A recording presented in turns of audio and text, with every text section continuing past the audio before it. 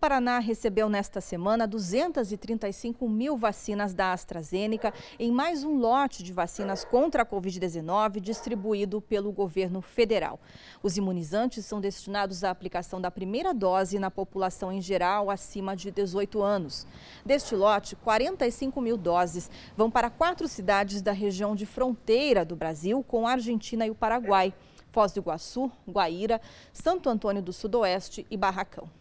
A expectativa da Secretaria de Estado da Saúde é de chegar a 80% de vacinados com a primeira dose ou dose única até o fim do mês de agosto.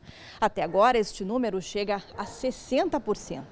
Esta semana, o Paraná apresentou queda em dois índices importantes que mostram como está o combate ao coronavírus. A taxa de ocupação de leitos de UTI chegou a 75%, o menor índice desde fevereiro. E a taxa de reprodução do coronavírus, chamada de RT, está abaixo de 0,70, uma das menores do país. Isso quer dizer que a transmissão, o contágio do vírus caiu.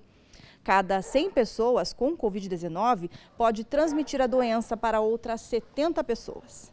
De Curitiba, Elaine Nunes.